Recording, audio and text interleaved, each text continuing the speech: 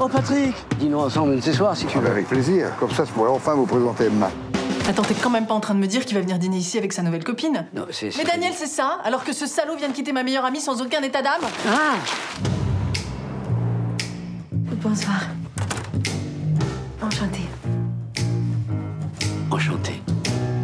Mais je n'arrive pas à comprendre comment il a pu quitter Laurence, qui est une femme extraordinaire, pour cette gamine de 30 ans. Écoute, c'est c'est pourtant très facile à comprendre, hein. Qu'est-ce, pardon, qu'est-ce que t'as dit? Moi? Qu'est-ce que t'as dit? Eh, Rien.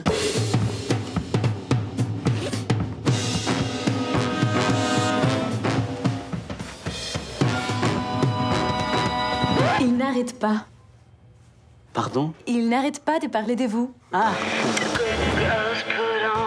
Je suis horriblement gourmande. Vous êtes gourmande, vous Horriblement.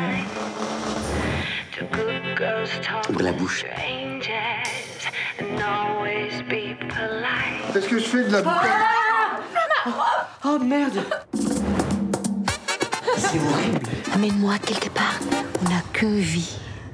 Elle portait en elle la promesse d'une vie folle, mais dense et vertigineuse. Pour la première fois de son existence, il venait enfin de se réveiller.